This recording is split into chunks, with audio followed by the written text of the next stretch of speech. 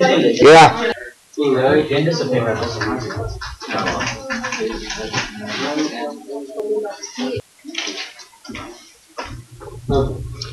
What would happen if speed of light was really, really slow? Then we'd be very weird. Well, wouldn't Um, it be, wait, it wouldn't be very different with the sun, would it? Cause, like, it just. This, we just see, we'll talk about all this theoreticals later.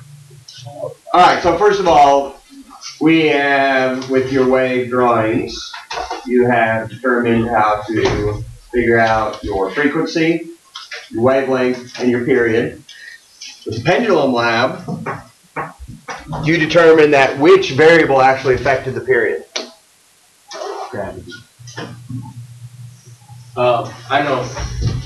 Which of your variables Period. affected the period? Oh, wait. Length and Independent string. variable. the length of your string, right? The other variables didn't do anything. The mass didn't affect your pendulum, and your distance from pl- from plumb did not affect your period. It was only the length of your string, which makes sense. Which, if you think about when you were drawing your waves, right? Your wavelength, the longer the wavelength, the longer time it takes to travel, right? Just makes sense. So those are directly proportional. Well, we have not talked about speed yet. And when I talk about light, that means anything on the EM spectrum. That, that is all inclusive. That's everything from gamma waves to radio waves are all categorized as light. Okay, for our intents purposes. So Another thing to point out that whenever we talk about the speed of light, we're talking about the speed of light in a vacuum. Where the light, when it hits, when it travels through a vacuum, you would get a straight line. What's a vacuum? What is a vacuum? Like a vacuum cleaner? No, no, no, vacuum cleaner, like space. Oh. Not necessarily airtight, but a place devoid of all matter. Okay, so where there's no air, and there's no other particles in that space. Okay? So it would have zero density. There's no material in that, there's no matter in that space. However, the same light were to hit the water, what's going to happen? Is it gonna reflect? Part of it actually will reflect. But what else is going to happen? Same thing. Break up. Disperse, there'll be a little bit of dispersion, that's true. But also, it's going to refract. That's right, which is just a fancy word for bending. Okay? Now, why does this light bend?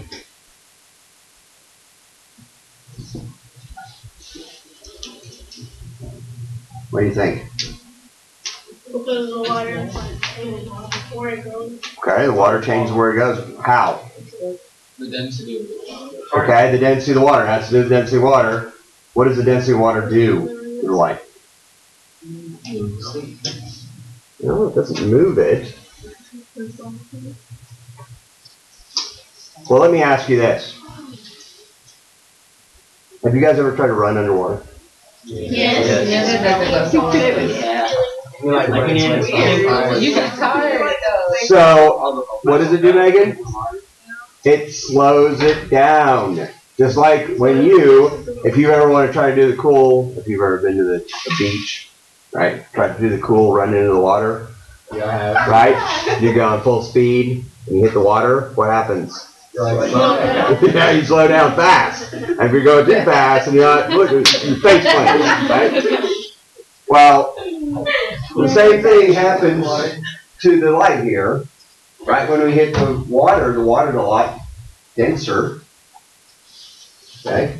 And it slows down. Now, it slows down just a little bit, right? But it does slow down and it bends uh, as a result. So, when we are talking about these waves, we're talking about them moving in a vacuum. Okay, we'll talk about traveling through different other mediums later, but in all of our examples, we're going to say that all these light waves travel at the speed of light, which is 3.00 times 10 to the 8 meters per second.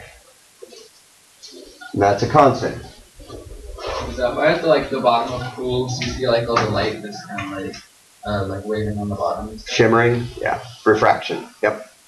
And we'll talk more about refraction and reflection when we get into our light unit. Our symbol for speed of light is c. Where have you seen that before? So Um, A famous equation? E equals mc squared. So energy equals mass times speed of light squared. So we are going to assume that our waves are traveling at this velocity. Okay? Unless otherwise specified. How can you measure the speed of light? It how did they figure out? Um, that is Einstein's, basically with a lot of math, is the short answer to that. But we have it simplified to the velocity equals, what is this? What's F? Frequency times wavelength, okay? So with, and what can we substitute V for? C, yeah, speed of light, okay? So in a vacuum, this is C equals frequency times wavelength. Now, how fast is the speed of light? Really fast, okay? So fast it's hard to comprehend a three with eight zeros meters per second. So that's, what is that, 30 billion? Or is that 30 million? Six zeros? Or six zeros? So that's 30 million meters per second. Um, which is fast enough to ground go around the earth seven and a half times in one second. So 1001, you just went around the earth seven and a half times. 1002, you just went around the earth seven and a half times again. Okay, it is so fast. That's why whenever you turn on the lights, you're not watching the light go hmm, down to the floor. It's so cool. Could you do that? Like, have they like they still there's nothing fast enough to slow down and capture that.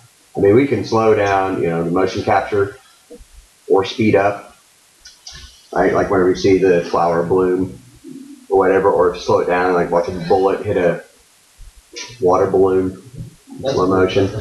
Still, that is so fast that we cannot slow it down to see light actually travel. Isn't it like the, the light we see from the stars like millions of years old? Yes. Like we don't know what's going on. That's right. So, like the sun, light we see from the sun is eight minutes. The sun could have died like seven minutes ago. Yeah, wouldn't have known. That's right. Uh, those stars that are really far away, we're actually seeing those stars hundreds of years ago, if not thousands of years ago. Because it's taken, they're so far away, and even though the speed of light is so fast, it has taken hundreds of years for that light beam to travel from that star to our eyeball. So it could be gone. It could be gone. There could be no stars left. Yeah, the star that you look at, we just looked at it and like, yeah, and a huge shockwave is coming our way and destroy us. All right, so let's do some three practice problems. So anytime that you're given one of these problems, you'll need to be given either wavelength or frequency, okay, as one of your variables. What was our equation again? Uh, V equals, V equals M.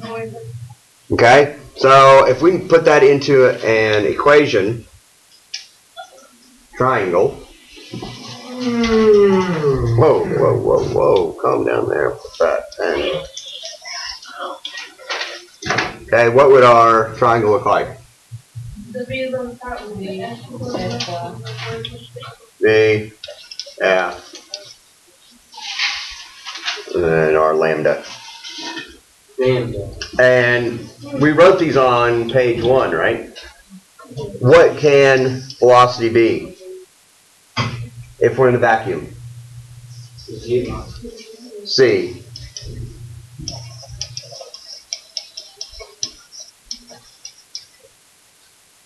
Three oh times ten to the eight. It's a terrible eight. Meters per second. I think that just made it worse.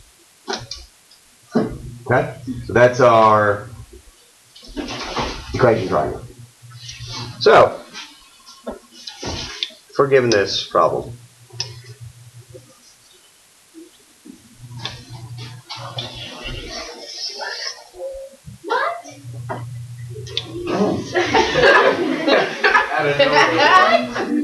The wavelength of an X-ray is 4.32 times 10 to the negative 11th meters. What is its frequency? So, what are you given? Wavelength. The wavelength. Now, I'm not going to require you doing rectangle powers on these practice problems, but every other problem that you'll do, I will require rectangle power. But in time of, or in the interest of saving time, let's work this out. So we're given wavelength. Um, and what are we looking for? Okay, so what is our equation going to be that we're going to use to solve this? Equals velocity over F. or, What's F? What are we looking for? Frequency, so F equals, F equals velo- V over wavelength. Yeah. Velocity over.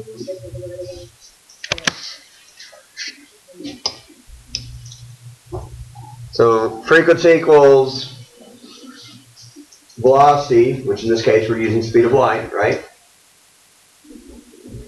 Divided by our wavelength given in the problem. So everyone have your calculator out? Yep. You can calculate this?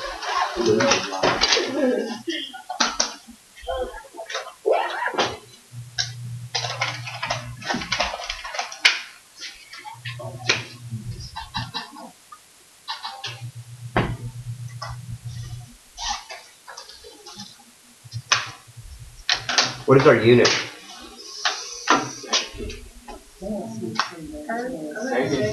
Hertz. It's S negative one would also be acceptable. Right?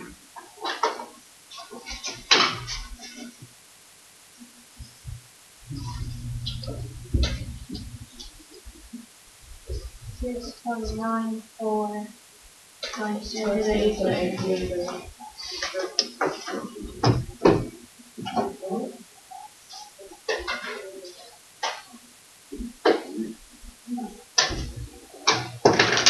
agree with that? Make sure everyone gets that. If you have the blue calculator and you're getting the wrong exponent, you need to put this, your bottom number in parentheses. Okay? Questions on that? Try another? Good, good. Ultraviolet radiation from the sun has a frequency of 2.49 times 10 to the 16th hertz. What is the wavelength? Set this up the same way.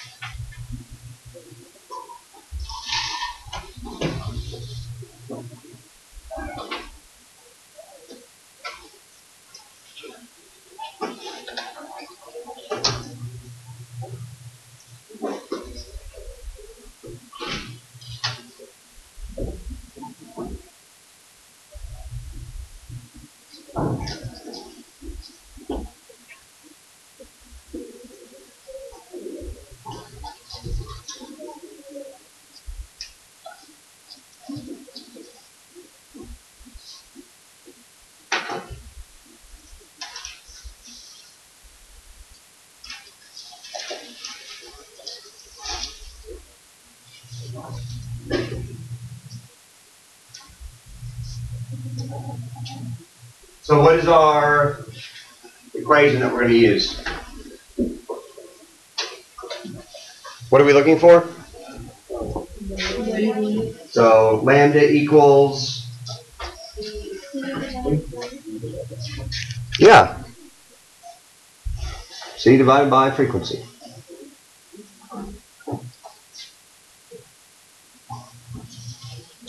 Once again, we plug in our numbers.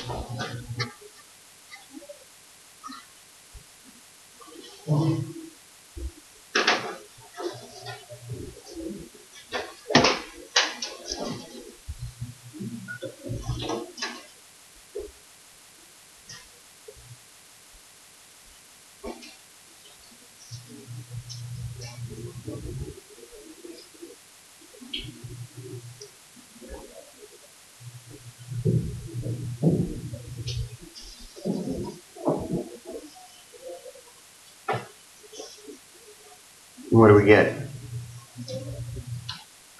Victor, what'd you get?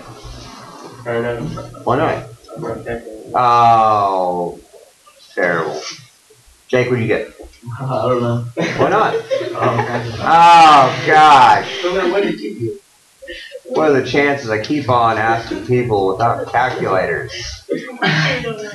Khalil, please help us out. Uh, I got negative uh, 72 times 10 percent. Anyone agree with that? No. No. Grant, what do we get? Oh, I don't know. Do you have a calculator? Yeah, I do have calculators. Why don't you plug it in? That's more embarrassing. Like, it's not happening. Lazy, but we'll wait. We'll wait. Yeah, we'll wait on you, because I want your answer. I heard you came up with the best answers. No, I did not. Yeah. It wasn't on. So I got a hundred on his tab. We're really waiting on. Yes.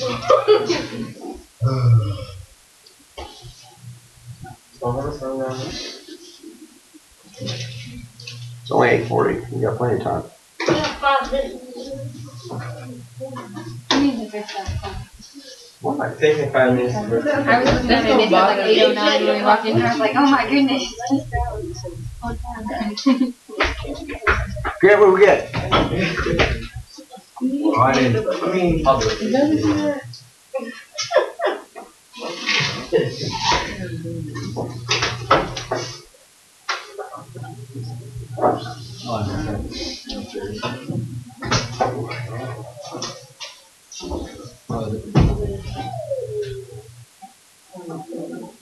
How do you do S one? what unit do I put? I don't know what unit. What are we looking for? Wavelength, Okay. Length. yeah, Length is always in. uh, I got one point zero two times ten to the eight pound. You agree with that? Nope. No? Well, that's the whole point of doing these practice problems, to figure out what you did wrong and practice with your calculator, so you get the right answer. Yeah, I got negative.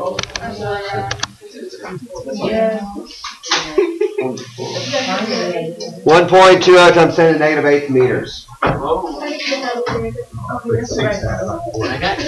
If you did not get that, plug it back in, make sure you get the right answer, guys. I got to the twenty-four. Put it in parentheses. Put both prices or Yes, let's just do both, put everything in parentheses, that way.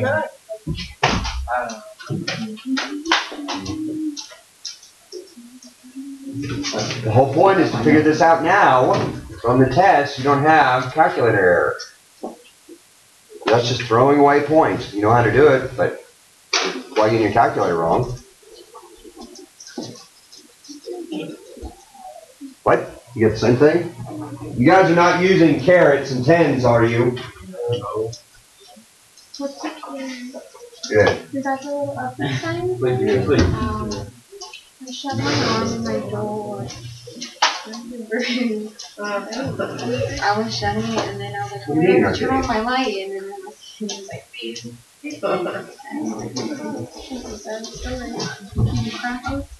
like, I didn't even Is know this a what type- from do I have a typo? and then I was Is it like, O two? O two O?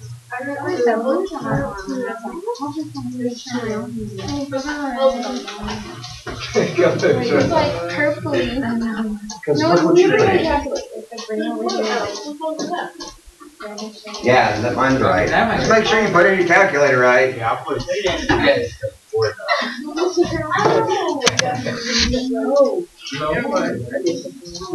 Alright, let's try this one for remaining time.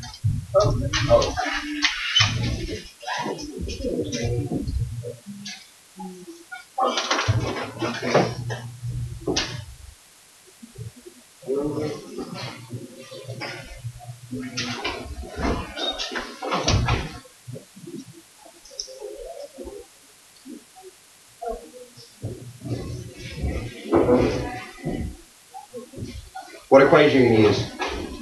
Do you label it if it's easy on top there? What? What? Wait, wait, wait, drop it. Get your life. I was just like, You uh, was not lit. I meant speed equals something. like- That's what they do. Velocity equals That's what I said. Uh, velocity equals, uh, frequency times wavelength. uh, yeah. That's what I meant. That's seven. And clear what you get as an answer. Um, well, right now, Uh, He's not. Not I don't have the proper speed. okay. I may find it. So is this traveling through a vacuum? No. Why did you say no? That's right. Yeah, because the speed of the wave is three point zero. That's right, because this does not equal our constant speed of light, so it is not traveling through vacuum.